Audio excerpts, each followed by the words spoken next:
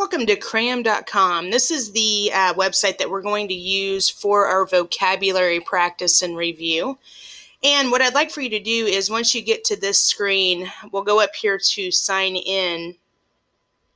And to create an account, um, and sorry about the ads, you can close those down here.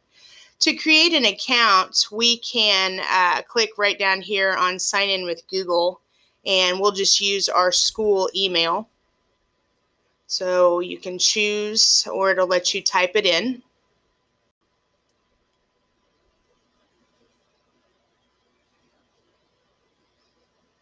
And that is going to bring us to a uh, uh, screen with um, our flashcard creation screen uh, that'll allow us to do a few things with that.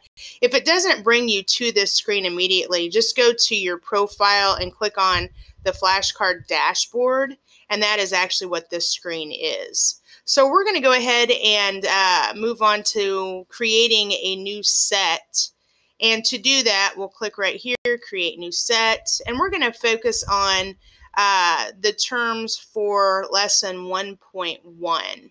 Uh, you'll notice in the Google Doc for 1.1, uh, right down here in the vocabulary practice, you'll find a list of uh, the terms that we're going to use.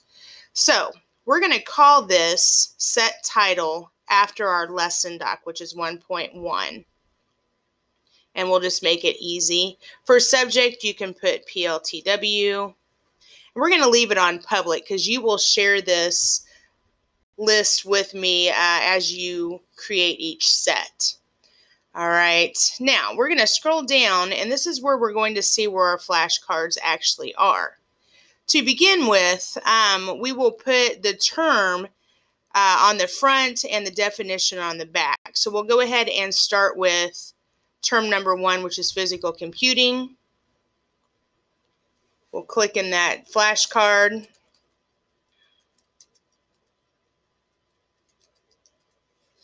And then on the back, we will put the definition as you read it right here. Now, I suggest that you type it out just so you get used to the term. That helps expose you to that definition. Uh, and I would do that for each one of your uh, terms. So you'll go down to the next card and you'll put in the second term the definition.